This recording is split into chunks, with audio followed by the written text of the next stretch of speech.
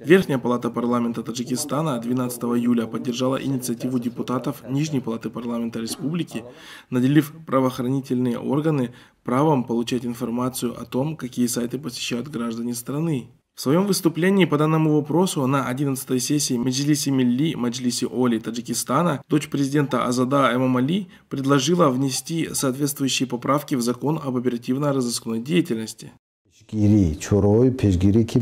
Напомним, что в роли главного инициатора этой поправки выступил депутат Нижней палаты парламента Таджикистана Джурахон Маджидзода. В своей речи на сессии Нижней палаты парламента 7 июня он заявил, что на сегодняшний день свыше 3 миллионов граждан Таджикистана имеют доступ к интернету.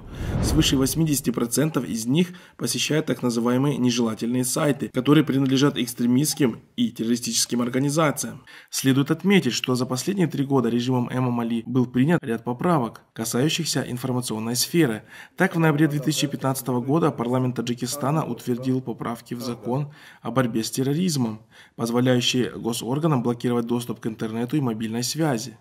В 2016 году правительство Таджикистана приняло постановление о цензурировании теле- и радиопрограмм, ввело уголовное наказание за оскорбление лидера нации Имамали Рахмона, а в ноябре начал работу единственный коммутационный центр ЕКЦ контроля за интернетом. Весь входящий и исходящий трафик интернета и мобильной связи теперь проходит через ЕКЦ, что позволяет напрямую прослушивать разговоры, контролировать и отслеживать интернет-трафик. Таким образом, режим пытается полностью контролировать информационное поле, в котором находится население страны.